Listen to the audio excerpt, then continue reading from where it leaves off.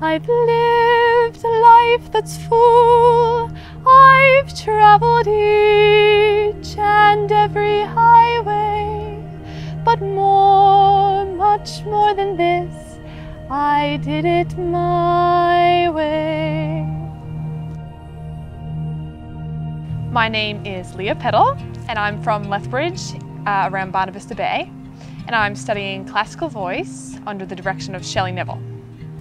Lethbridge is rural Newfoundland, so opportunities in the city were always exciting, but I loved being home because I could relax and enjoy the rural lifestyle of Newfoundland. I started music lessons when I was around three or four years old. My mom's family are very musical and that was, they were a really big influence on me growing up. I studied classical voice, classical guitar, um, piano and flute for about 15 years altogether.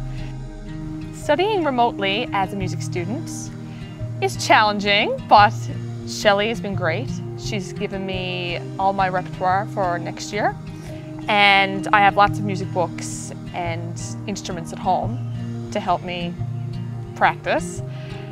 And she's been really positive, really uh, helpful emailing me and Zoom meetings are helpful as well. I meet with my professors and my classmates to talk about the upcoming school year and how we're doing with the remote learning. I'm doing English and police studies as an elective and an education course for students with disabilities.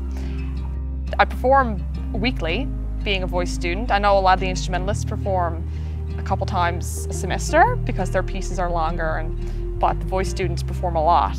And we get to dress up and it's very professional and everyone is so supporting and accommodating and encouraging while I perform and it just makes it so much easier. If we mess up, I mean everyone messes up.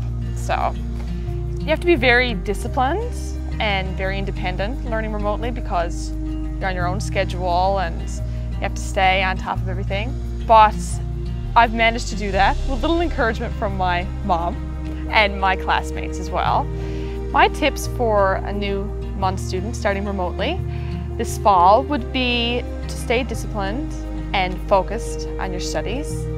Academics is the most important thing here, and you're still a university student even though you're in an independent and isolated setting staying positive and connecting with professors and classmates would, would be really supportive for everyone.